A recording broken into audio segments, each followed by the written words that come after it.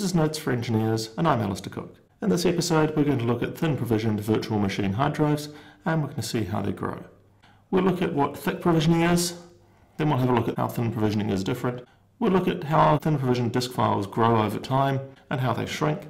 We'll look at the benefits of using thin provisioned disks, and then we'll look at the risks of thin provisioned disks as well.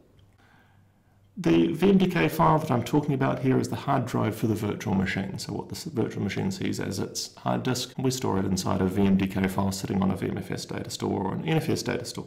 The disk that the VM sees is made up of two pieces. There is a file called the VMDK file, so in the case of the first disk attached to a VM called myVM, it's myvm.vmdk, and this is metadata. It's a tiny text file containing information about where to find the actual data, and you can see an example here that describes a, a disk. This file itself will be a few hundred bytes in size, uh, maybe three, four hundred bytes. It's just metadata and it points to a flat file. You can see about the middle of it, this, this section where it says extent description and says that there's this flat file. The flat file is the big binary data file. This is where the actual hard drive data of the virtual machine is stored. Flat file is however big the hard drive is on the virtual machine. A thick provision VMDK file, the VMDK file itself is tiny. Now we typically talk about a VMDK file even though it is these two files, the VMDK and the flat file. We'll talk about it as if it's one file and in the data store browser the vSphere client will hide the, the fact that there are actually two files there. So the actual VMDK file is tiny, but we get the flat VMDK file. This is the one that is the binary data that is the hard drive. With a thick provisioned disk, this flat file is created full size when it's first created. So if I created a 40 gigabyte hard drive for my virtual machine, the flat file is 40 gigabytes on the day it's created. The flat file doesn't get bigger, doesn't get smaller, never changes its size, never fills up a data store. You're not allowed to create a VMDK file that is flat and is larger than the free space on the data store, and so the data store won't run out of free space because of a thick provisioned VMDK file. Now this is not talking about snapshots. As we saw in the snapshot discussion, those are thin provisioned. A thick provisioned VMDK file itself will never fill a data store.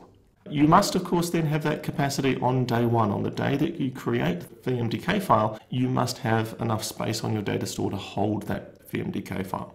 As a consequence of needing all of that size on the first day, we can't overcommit on the data store. So if I have a 2 terabyte data store, I can't store more than 2 terabytes worth of virtual machine thick provisioned disk files on it. We'll see this is quite different for thin provisioned.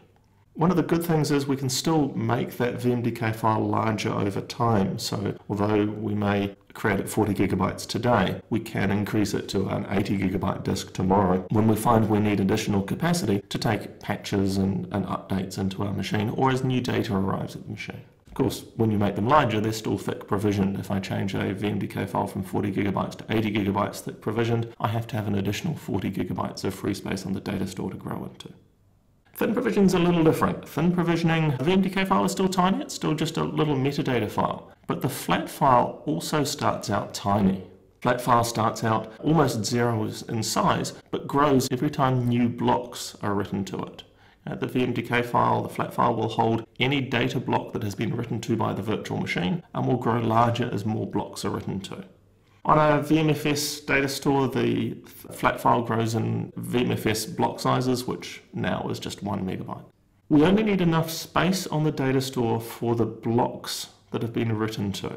We don't need to have enough free space on the data store right now for every block in the VMDK file to be written to. So if I create a 100 gigabyte thin provision VMDK file, but the virtual machine only writes to 20 gigabytes worth of blocks, I only need space for those 20 gigabytes of blocks. I don't need the whole 100 gigabytes to be available now. This allows us to overcommit. This means that I could store on a 2 terabyte data store, I could actually have 8 or 10 terabytes worth of VMDK files. It's just that their right now size couldn't exceed the 2 terabytes on the data store. Their allocated size and the size that's visible inside the guest OS could vastly exceed the size of my data store. A consequence of overcommit is that we can completely fill a data store, and that's one of the two things that causes data stores to run out of free space is thin provisioned VMDK files. The other, of course, is snapshots. If I've overcommitted on the VMDK file, then I can absolutely fill that data store with the VMDK files as they get data written to them by the virtual machines. Thin provision disks can also be grown over time, so you can start out with a relatively small size, and as the requirements to store more data inside the virtual machine grows, we can increase the size of the VMDK files. This is quite a good thing because it means you can be conservative in your overcommit but still be fairly flexible. So instead of creating very large thin provision VMDK files and having no idea what data will turn up in them, you can create relatively small thin provision VMDK files. Watch for free space and increase the size of the VMDK files you need to. So it's really good for flexibility. So how do thin provision VMDK files grow?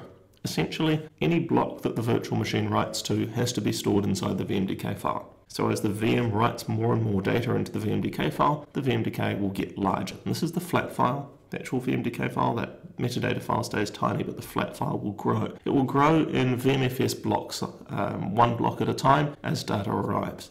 Since VMFS 5 uses 1 megabyte block size, this means that the flat file will grow 1 megabyte in size at a time, and it will grow to contain all of the disk blocks that have been written to by the virtual machine. If you overwrite the same blocks repeatedly, then the VMDK file won't grow. But as new data is written in, then the VMDK file will grow. This is particularly important since the guest operating system tends not to reuse blocks that it's already written to. Even if you delete a file out, the blocks that contain that file data will still be stored in the VMDK. If you copy additional files in, they won't overwrite blocks that contain data. This is because the guest operating system wants you to be able to undelete, to recover those files that you've deleted, and it can't do that if it overwrites them.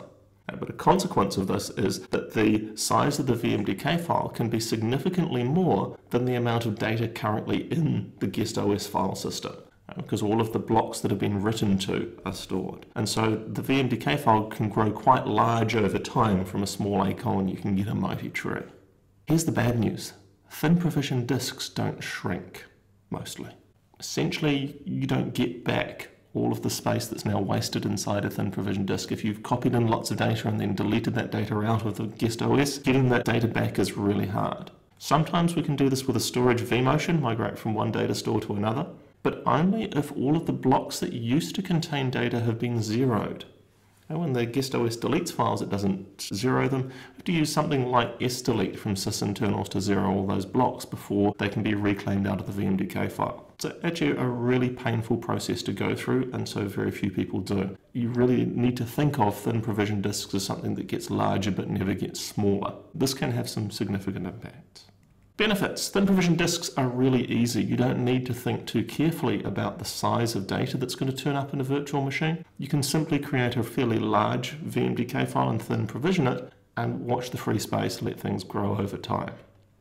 So you don't need to plan the size. You pick a maximum size and remember that we can grow later and so you don't have to create a maximum size that's going to work for maybe five years worth of life. Maybe just think about a maximum size for six to 12 months worth of growth and keep monitoring you absolutely can overcommit the data store space that you have bought today, which means you can then defer buying additional space until later. You can save money and buy storage capacity as your requirements grow. Very important that you monitor the free space on your data stores as you grow in these VMDK files as the thin provision disks expand, because running out of data store space is a bad thing. Using thin provisioning is a great way to defer purchasing and to save yourself some money. However, whenever we overcommit on a resource, we're taking a risk. We're taking a risk that there can be an increase in demand, in this case, that more data can turn up on virtual machines, and that the data store can get filled because these virtual machines are getting larger and larger. And of course, when the data store is full,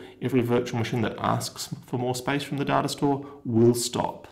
Any VM that's thin provisioned and asking for more space on a full data store will stop. No pings, nothing. We really don't want to see this. It's going to cause us a big concern. So if you're going to thin provision your disks and overcommit your data stores and the two go together, then you really must monitor very carefully free space on your data stores. Thin provisions disks definitely grow. They start small, but they get larger over time. They almost never get smaller. You have to be careful that these thin provision disks do not fill your data stores because you usually use them to overcommit, and you must monitor free space on the data stores and react when you have to. Use thin provision disks with care, they can save you a lot of money, but always, always look after the workload inside your virtual machines. This is Notes for Engineers. We've been looking at thin provision disks and how they grow. You can find more Notes for Engineers video at notesforengineers.com and to be notified when new ones come out, just follow N for Engineers on Twitter. I'm Alastair Cooke. It's been uh, great talking with you and we'll talk again.